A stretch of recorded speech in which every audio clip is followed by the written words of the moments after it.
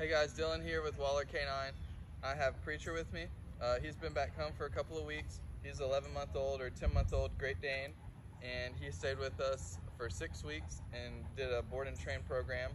Um, anywho, uh, he knows all of his typical obedience, his e-collar trained. Uh, he's also trained on the leash, but today we're just going to go through everything off leash. Um, so Preacher knows how to sit, stay, come, heel. So Preacher heel. Good boy. Good. Preacher sit. Good.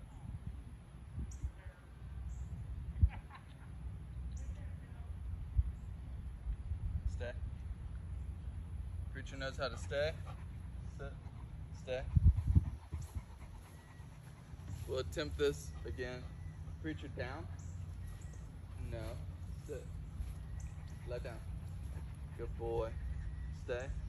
So it's important when we work on stay to always come back and treat the dog for being steady. The treat could be affection. The treat could be food. The treat could be a toy. The treat could be a release for freedom. Stay. Stay. Should be able to take the dogs back without them getting up, even if they lose eyesight from us. His release is, okay, good boy. We use the e-collar, uh, or at least the way we teach it is if he hears a tone on his e-collar, it means that he's reached the limitations of an invisible fence and he needs to find safety, and safety is with us or whomever is handling the dog at the time. We use it for heeling, and we also use it for come when called. It could also be used as a um, tone of disapproval in some instances, or just to get him into a more cautious state of mind. Um, so we'll do just a little bit more training with him. Preacher, come. Good. Preacher, come. Preacher, come. Good boy. Preacher, sit. Good. Okay, come. Okay, come. There you go. You want some food? Thanks. I put my hand on my hip here. Preacher, heel. Not sit. Come on.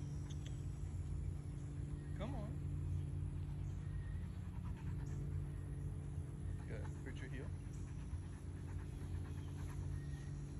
Good. Want some food, love?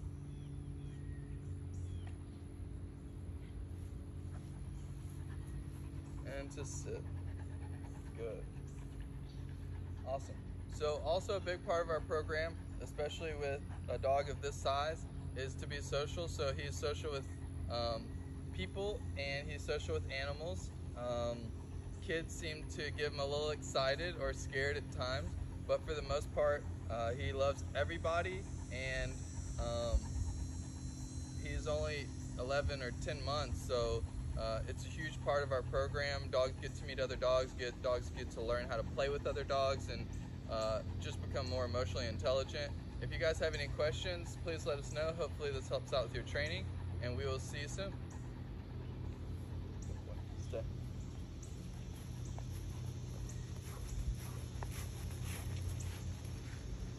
Okay. Good boy.